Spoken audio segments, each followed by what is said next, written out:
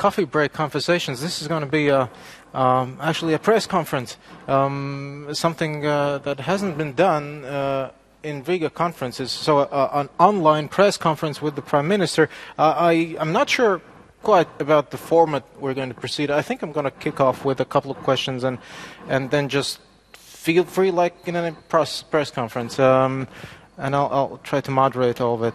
So, uh, and, and don't. Uh, be concerned too much about the fact that we're in an empty room. Um, we're, uh, we are being broadcast all over the world, and hopefully someone's watching. So, uh, and, and we're having um, also people who are not, who are present only virtually can uh, ask questions as well. We have uh, some questions already coming in via Twitter. So, um, so a Q&A session both here uh, for those who are present and for those who are following us virtually. Um, uh, Prime Minister Valdis Dombrovskis um, here. Um, I will just, I think, commence by recapping a couple of points you made yesterday about euro um, and why is it uh, worth fighting for the common currency. And if I understood correctly, you, you said in reaction to the latest developments uh, with reference to, to uh, ECB decisions and, and um, uh, German court decisions and the rest of it, that uh, basically we now see the end, uh, the, the light at the end of the tunnel, and we will have some, uh, maybe a half a year of bumpy road ahead of us, but, but basically we're on the right path. So uh, if you could expand on that. Are, are, is there a light? Is, the, is it a big light at the end of the tunnel? Or? Well, uh, good afternoon, everybody. So, as regards this, your uh, first question, well, uh, that's uh, uh, what it seems to be. That uh, with the last decisions taken, Eurozone has dealt with one of the problems which was preventing Eurozone from successfully dealing with, it, with its crisis, namely that financial markets were questioning the size of the firewall is there enough money in EFSF and ESM to deal with the crisis? And with the latest uh, decision of ECB, uh, the answer seems to be yes, because uh, there will be also ECB liquidity available uh, to countries which will need it. And as I also mentioned, it's positive that it comes with uh, strict conditionality, so countries have to apply for a bailout, have to agree on the conditionality, and only then uh, countries will be able to uh, benefit from this ECB liquidity. So all in all, uh, really we see that Eurozone has taken a number of uh, steps and initiatives to deal with uh, medium to long-term issues, in, including on strengthening both economic governance and fiscal discipline within uh, Eurozone, also uh, within uh, the whole European Union. And it has taken a number of steps on short-term resolution of the crisis, including creation of EFSF and ESM. But size of those funds have been questioned so far, and this ECB uh, decision should remove those uh, doubts. So where we expect uh, trouble, we still expect trouble with the Greek problem uh, in a sense that uh, they are in a second bailout and seem to be falling behind even the commitments in a second bailout. So it will be difficult to deal with this uh, uh, uh Greek situation to ensure that they stick with the conditions in order for Eurozone to be able to proceed with next bailout payments. Right.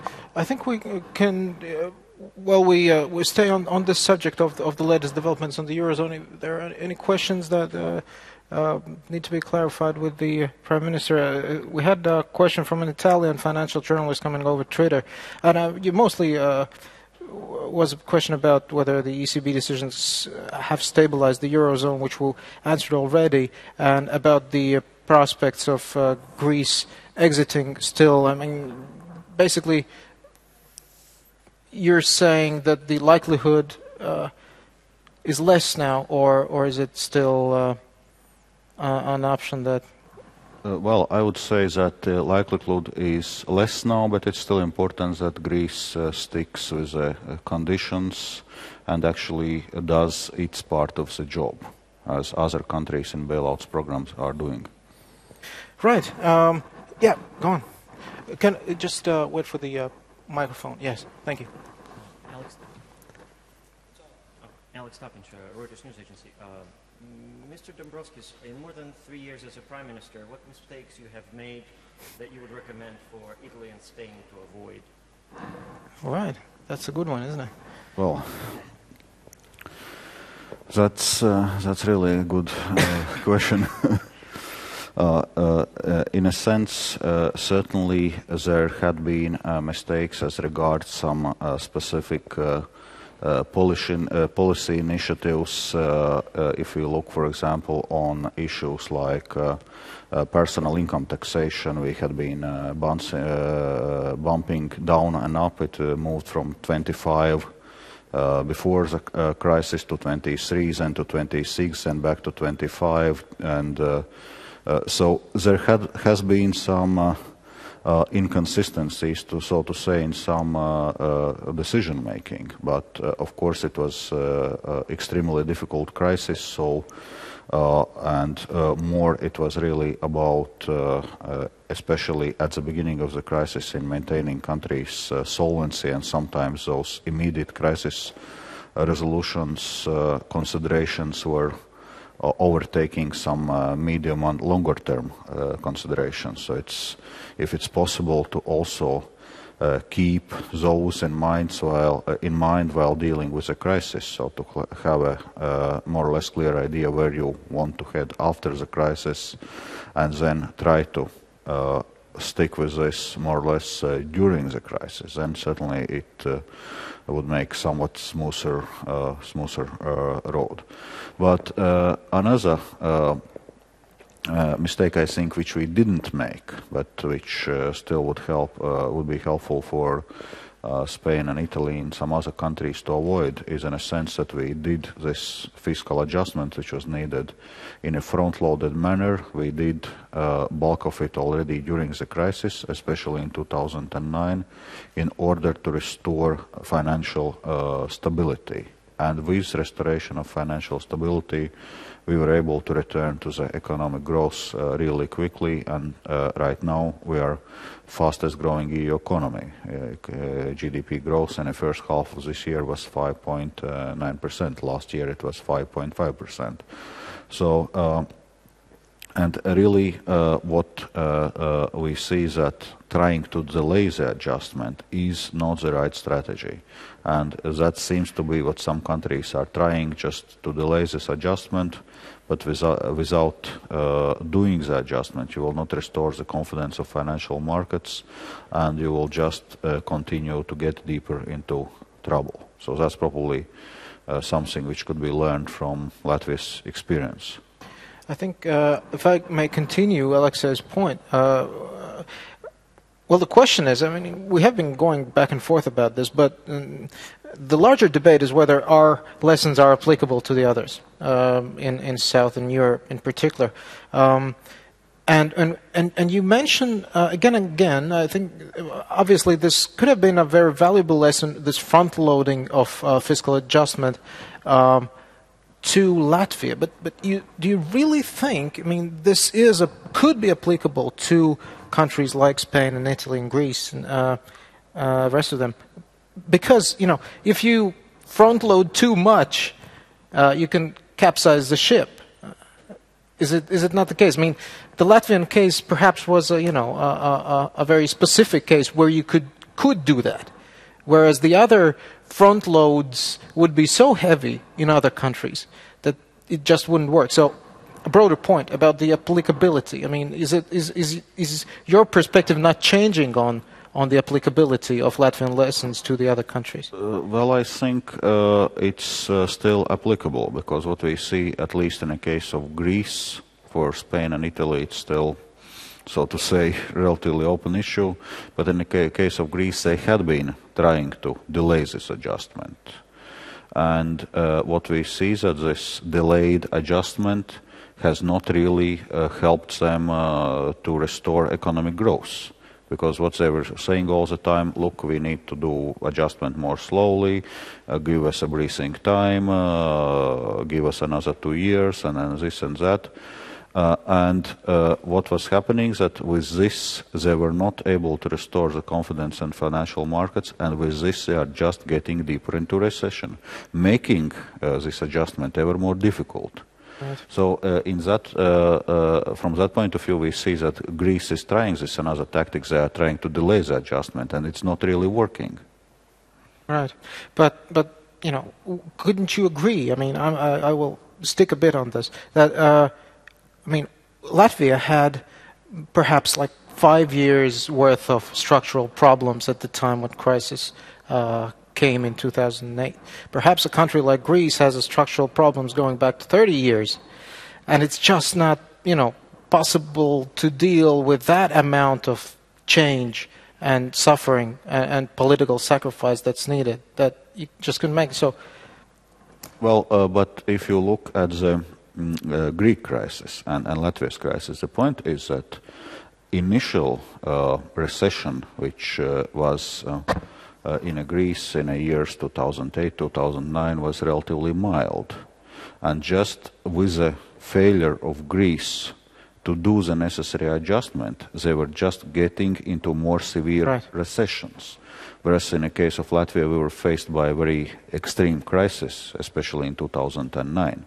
So if Greece would have acted uh, with a relatively mild uh, recession in 2009 and even by mid 2010 when they requested the first uh, bailout and would stick with this conditionality and do the necessary adjustment, I think they would have been in a uh, substantially better situation now. And they wouldn't need to do uh, as much as uh, adjustment as, as, Latvia has, because uh, we have done uh, between years 2008 and 2012 uh, some 17% of GDP worth of fiscal uh, adjustment. It's more than Greece has done so far. Probably now they will have to do more because they have been delaying it for so many years. But initially they could have gone through with a smaller amount of adjustment. Right. Anyone wants to jump in? Yes, please. Aaron Eglitis, Bloomberg News. Mr. Dombrovskis, you've often referred to Latvia as a success story.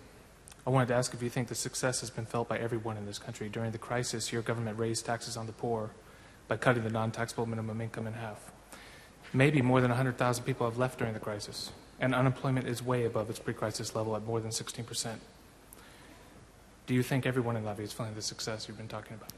Uh, well, uh, of course, if you are facing the crisis as Latvia did in uh, 2008 2009, uh, facing some uh, GDP contraction in those two years of more than 20%, it's quite clearly that you cannot go out of this crisis without uh, negative consequences. It's just not possible. So it's, uh, the question is, what do you do to minimize the negative consequences? And one of the ways to minimize those consequences is to return to economic growth as quickly as possible. And that's exactly what we uh, seem to uh, have done. In, in, a sense, already in the first quarter of 2010, we returned to the quarter-to-quarter growth, and in the third quarter of 2010, we returned to year-on-year growth. And last year we were third fastest uh, growing EU economy. This year we are fastest growing EU economy.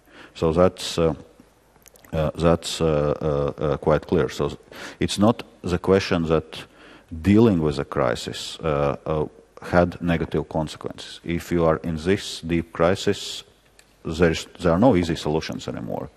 So then the question is, are other strategies uh, better? Or would devaluation help? Would delaying of adjustment help? Or, or something like this?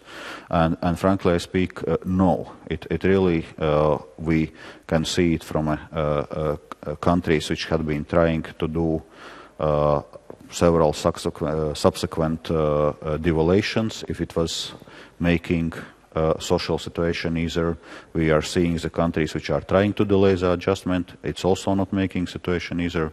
So I think all, in all, Latvia's uh, strategy to deal with the crisis was uh, relatively successful, especially because we were able to return to economic uh, growth relatively uh, quickly, which also then helps with job creation, which is also now helping us uh, say with 2012 budget amendments, with 2013 budget, to start, say, lower tax taxes again as regards uh, personal income tax taxation, and to start uh, raising salaries to public sector employees, starting with uh, certain categories of uh, teachers, with uh, policemen, firefighters, uh, prison guards, workers in social uh, uh, social secu security institutions, and so on and so on. So exactly because we have this growth, it now also helps us to return to the policies of uh, uh, wage growth while still sticking with our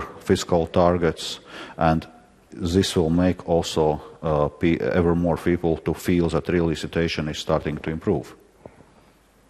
Yeah, go on. Yeah, Mike Collier, Agence France Presse. Um, one of the buzzwords that we've heard in the last couple of days, and which you've already used a few times uh, during this discussion, is conditionality. I just wanted to press you on what we really mean by conditionality, because uh, do we mean uh, stopping paying any money to a country like Greece, letting the economy collapse? Do we mean withdrawing their voting rights at EU level? Uh, what exactly do we mean by conditionality? And isn't it a bit of a hollow threat? given that so many times in the past European policymakers have said, well, we've drawn a line in the sand, we've finally got the firepower we need. What makes it different this time around, and what should the consequences be for conditionality? Uh, well, as regards uh, conditionality, so conditionality basically has to be uh, met, and that's uh, that's what it's all about. And uh, if we see that uh, now most of the countries with bailout programs are having their conditions met and continue with their bailout programs. Uh, then, in case of Greece, we see that there are serious doubts if conditions are being met, and that's why this next payment for Greece has been uh, delayed already for several months. So the point is that uh, if you uh, make uh, a bailout, you agree on certain conditions, those conditions have to be fulfilled. And mainly it's uh, regards to the uh, budget deficit reduction targets because nobody is interested to finance unsustain unsustainable situation if country fails to reduce its uh, budget deficits then it's uh, basically no reason to pay in a bottomless uh, place so you would expect that uh, international lenders the troika who are now doing the report on, on greece's uh, meeting the uh, conditionality, they, they will be quite strict about that. There's a bottom line to. Uh, you expect them to be strict uh, this uh, autumn? Uh, well, I would expect them uh, being strict. Uh, of course, there are always possibilities for some adjustments, some minor adjustments, also given uh, the situation that macroeconomics outlook for Greece is now worse than it was uh, when uh, conditionality was drafted. So there are certain things which you, of course, have to keep in mind. But all, on, all in all, those program targets should be on credible path that Greece is uh, uh, meeting the program targets, given some maybe some possible adjustments, uh, given the macroeconomic situation, and that they are on a credible path to reduce budget deficit and being able to return uh, to financial markets, because uh, no, uh, no bailout is possible to continue indefinitely. So there has to be clear exit strategy. How do you move? From your bailout? How do you stabilize your finances? How do you return to the uh, financial markets and start functioning as a normal country again? Right.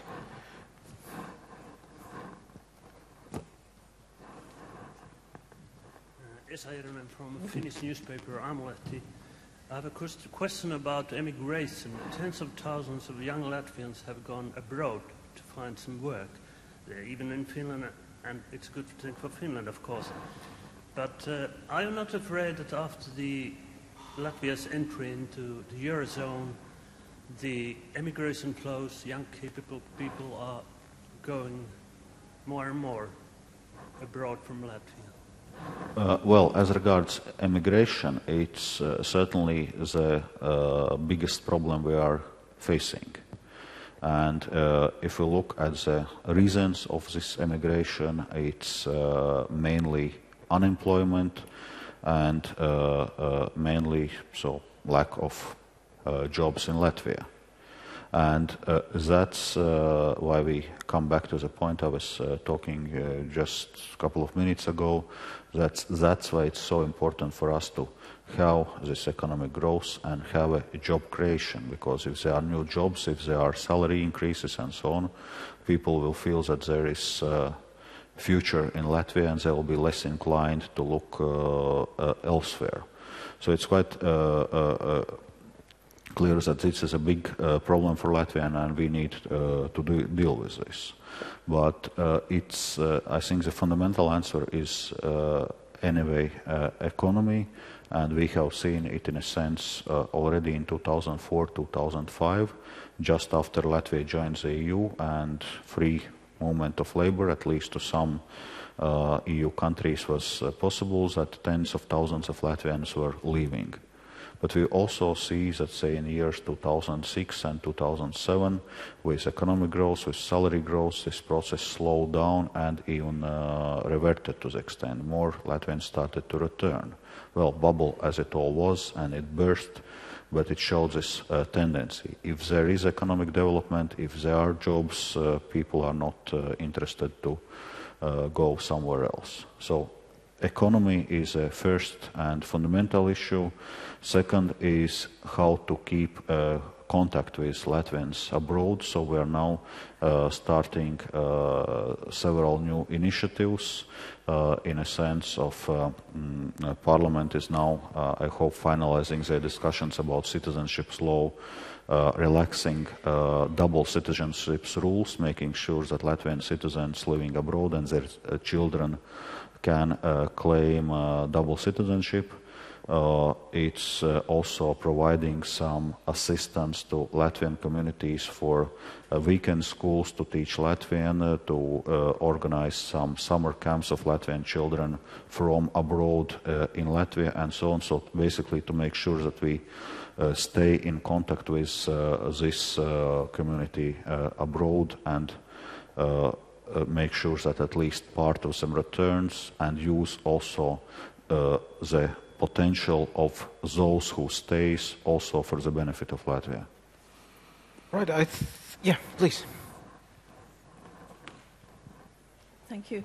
Um, Mary Dejevsky from the London newspaper, The Independent. Um, this time last year, um, it was almost accepted that um, Latvia was the model for um, countries facing economic crisis. And you've explained today about front loading and how you recommend that. Um, but in the last year, we've seen several trends away from that in Europe, from the whole philosophy of um, GDP and growth being the, um, being the gauge to judge national success. Um, we've seen moves to the left, especially in France, where they were talking about less austerity rather than more. Do you think maybe the, the Latvian model um, of austerity first is outdated and that we're looking at a different, um, different um, understanding of success in Europe? Uh, well, uh, if uh, I'm to judge from the uh, developments in the last year, uh, then it seems that, uh, in fact, most of the EU countries agreed to this approach and signed a fiscal compact, uh, which uh, clearly says that countries should reduce their budget deficits and make sure that the structural budget deficits does not exceed 0.5% of countries' GDP and it's uh, signed by all uh, EU countries except UK and uh, Czech Republic. And also those countries did not sign it for the reasons which had relatively uh, little to do with uh, them being against uh, austerity and rather to do with some other considerations. So if we look at the facts, what decisions are being taken in the EU, we, in fact, we see that there is almost universal acceptance that we need to bring our public finances in order. And with uh, uh, Europe's public debt approaching by now some 90% of GDP, it's quite clear that we will not be uh, able to uh, stimulate uh, economy forever with just uh, excessive deficits. Unfortunately, uh, that's what Europe has been doing for decades previously, and now we are uh, facing the consequences. And as I was said also in the opening of the Riga conference, that this crisis is not so much a euro as a currency crisis, it's rather a debt crisis. So we need to deal with that, that part of the problem, and we see that uh, Europe has recognized it, and Europe is dealing with the debt problem. We could switch now. Uh, um, I don't know what to do. I'll ask one question, and, and we'll back to the uh, to the uh, journalists. Um, I, I, I, wanted to switch to Latvia's um, objective of euro adoption, uh, and there was a, a, funny piece of statistics out just yesterday, uh, which showed that uh, just 13 to 14 percent of Latvian uh, citizens of the Latvian society support euro adoption, and and uh, I said this is a funny piece of statistics because it shows again, uh, well, that that we're you know diametrically opposite to the Greeks because Greeks seem not to be okay with austerity but want to keep the euro, where we seem to be okay with austerity but don't want the euro.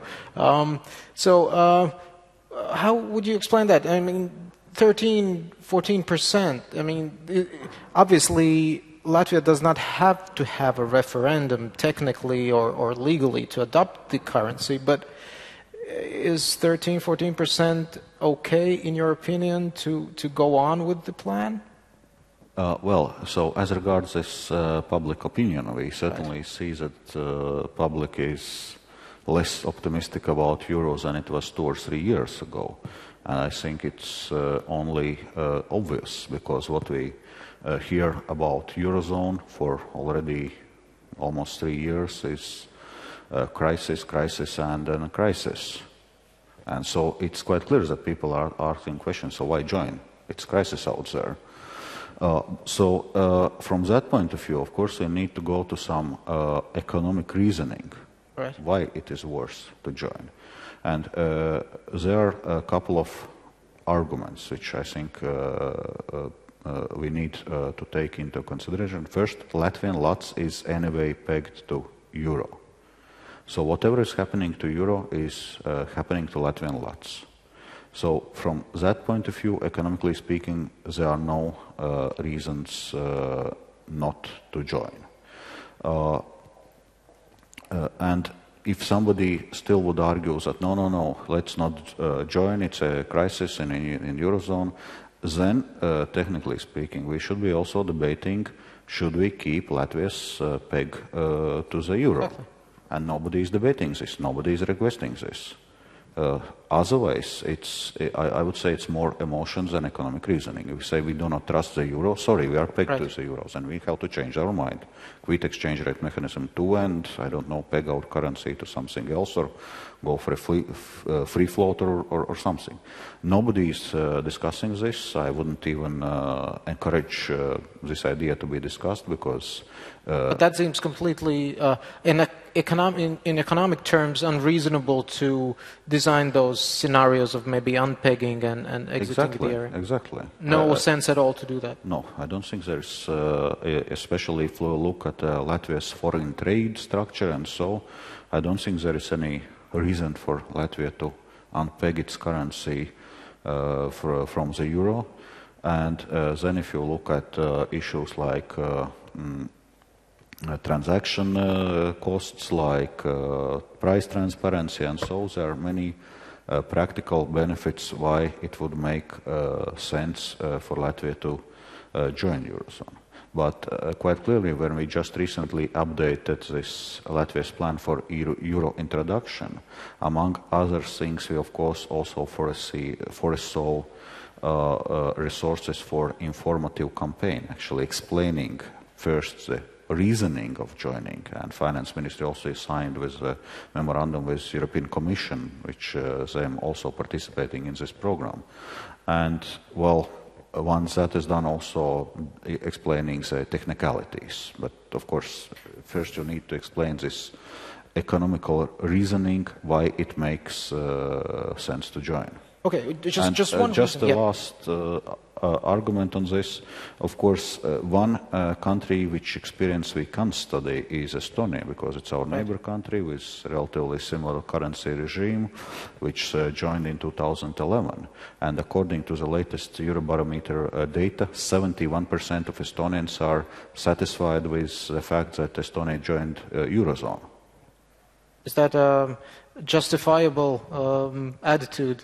Because it's, you know, if you're, you're, you're counting psychological factors against, then maybe there are psychological factors for. But, but you see, I mean, Estonian example is something not only in terms of the attitude, but, but in just economic lessons and the experience, you see that all, you know, that, it, that it's. Um, that's beneficial, basically, that it was the right decision. We have an example that says that it's the right thing to do. Do you gather th- only the positive things from the Estonian example? Well, uh, of course, uh, uh, uh, we st- study this Estonia's experience quite careful because they joined already during the eurozone crisis, and uh, still it served as a positive signal about financial and economical stability in uh, Estonia. It uh, helps with attracting uh, foreign investment, and is, in a sense, it's also served as a positive signal about stability in uh, region as a whole. Right. So from uh, those point of views, uh, we see that uh, Estonia's accession to Eurozone has certainly had m- much more positive than negative effects.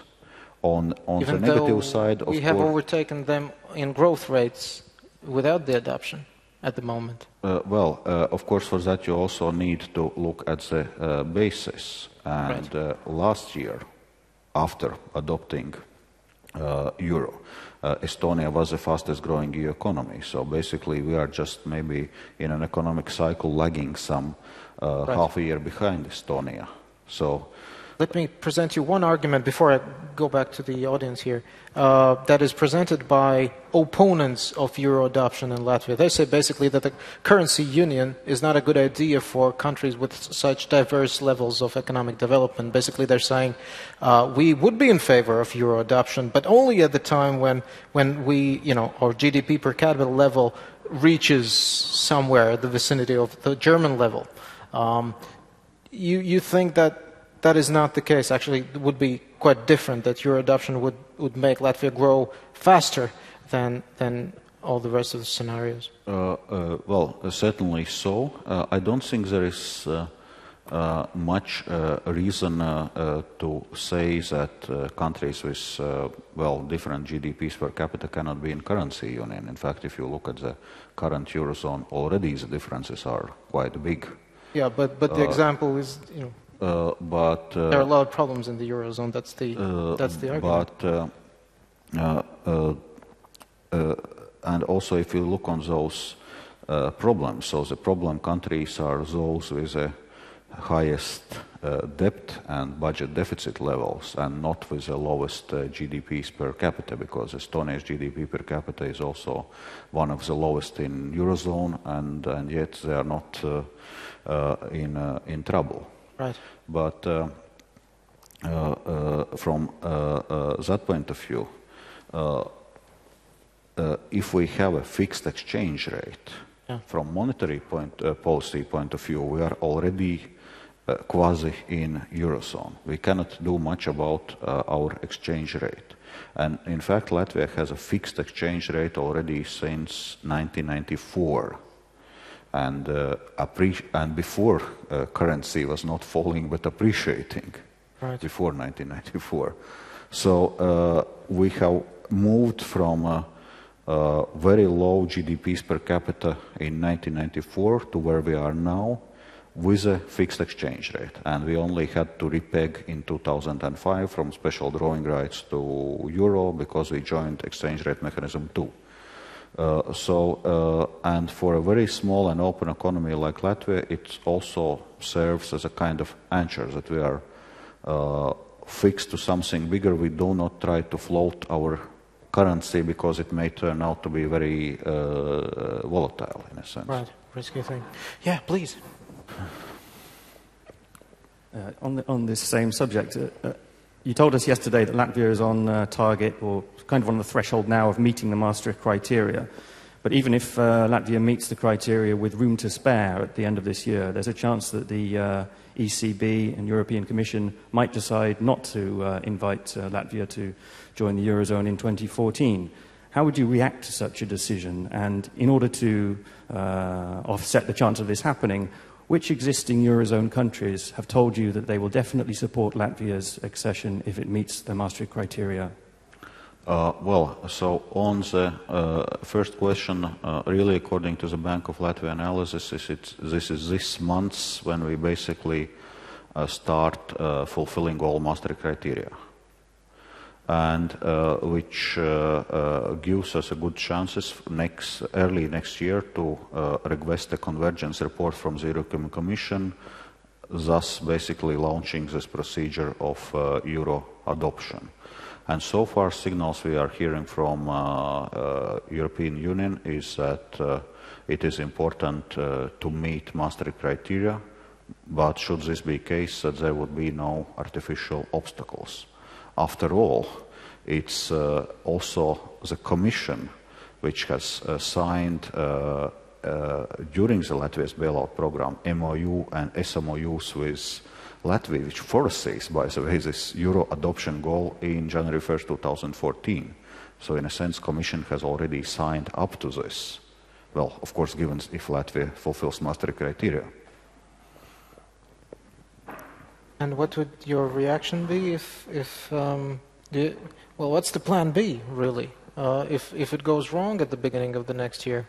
If we don't uh, get the uh, invitation basically to join, to join? Well, I think we uh, uh, currently should work for the plan A and the signals we are hearing that if we are to meet uh, Maastricht criteria, no artificial obstacles will be created.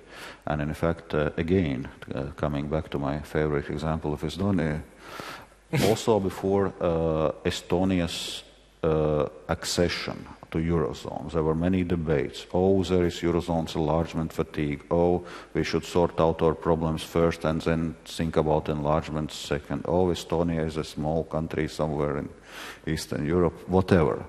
And at the end of the, the day, we uh, saw on this example that no, this Eurozone uh, enlargement process is still processing uh, very much as it's foreseen by the legislation, as it's foreseen by EU treaty, right. where in fact all EU new member states have an obligation to join, not even a uh, rights to join. I find it hard to believe that you don't have a plan B. Come on.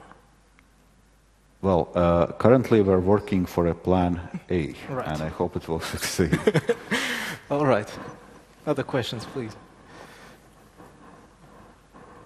Mr. Dombrovskis, what would have to happen in the Eurozone for you to change your mind about joining outside of a collapse of the Eurozone?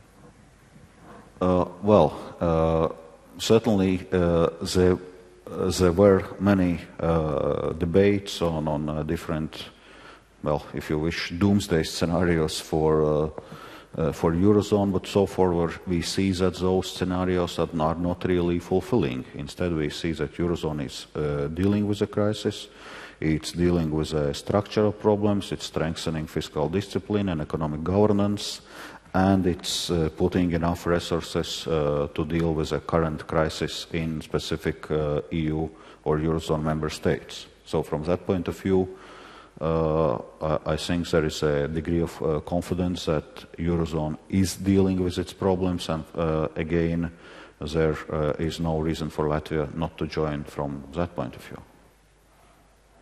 Right, Alexei. Yeah. Do you see any advantages staying outside the eurozone at all? Well, uh, only advantage I could think of is that uh, in this case we would not have to pay contributions to ESM. Uh, that's uh, probably the only uh, tangible advantage. But first, of course, we hope that bulk of the eurozone problems will be solved Without before 2014. All right. That's a very practical consideration. And uh, mm, then we we should delay for half a year. Uh, maybe still more problems will be solved by by mid 2014 well, uh, as I said, I, I don't see uh, there is uh, uh, many good reasons uh, to delay it. I see that there are many good reasons to join, and on a con side, what I can see is really this uh, issue of uh, ESM, uh, where we'll have to uh, make our contribution, but since it's anyway paid in uh, capital, it's uh, to the extent similar to IMF. And if ESM is not going to lose the money, we are also not going to lose the money. All right. Uh, we're almost out of time, so uh, I will just conclude coming back to that point. I, I don't know whether you uh, would like to answer that or not, but, but, but still, I mean, the 13, 14% of support for euro adoption among the society, and, and, and you, you spoke about the, that we're going to have a debate and, and an information campaign and all the rest of it, but do you imagine a scenario where Latvia has a referendum on that issue? Uh, a consultative referendum, maybe, and not a legally binding one? Uh, well, If the support lim- remains so unconvincing. Uh, well, uh, from the government side, we do not plan to call for a, a referendum uh, for two reasons. First of all, uh, already in 2003, uh, uh, Latvia has voted in a referendum for EU accession treaty with all its important conditions, including Latvia's commitment, co- commitment to join Eurozone. Second, out of the uh, 10 2004 enlargement countries, five already have joined Eurozone. None of them was making referendums. Right. Okay. Okay. Let us. Uh, let me conclude just by uh, just by asking, um, where where what is your projection of uh, when Latvia is going to be entirely out of this slump in GDP? I mean, when, when are we going to reach the pre-crisis level of our GDP? When when we w- we would be able to say that we're you know the crisis is really uh, behind us? Well, uh, in uh, nominal terms, we'll be reaching pre-crisis uh, GDP probably next year. All right.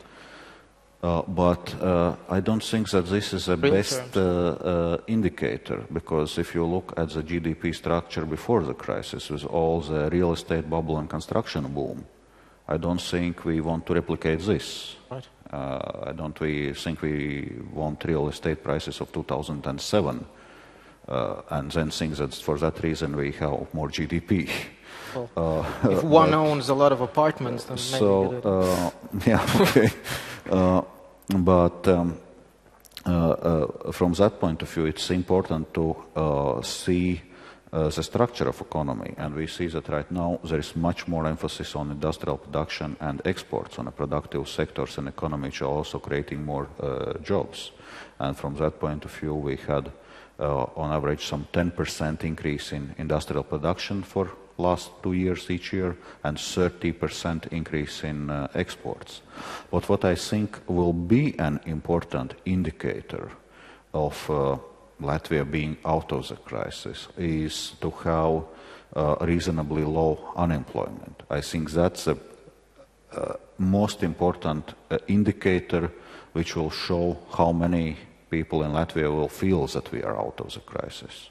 So if we will have a reasonably low levels of uh, unemployment, this I think will be the most uh, uh, important indicator how how you can feel. And unfortunately, unemployment is typically lagging behind the economical cycle. It takes some maybe half a year and a year uh, for unemployment to build up once crisis starts, and then it takes several years actually for unemployment to go down. So I, I would be rather watching uh, uh, uh, unemployment uh, no, and not GDP per uh, capita as a main indicator to see if Latvia is out of the crisis.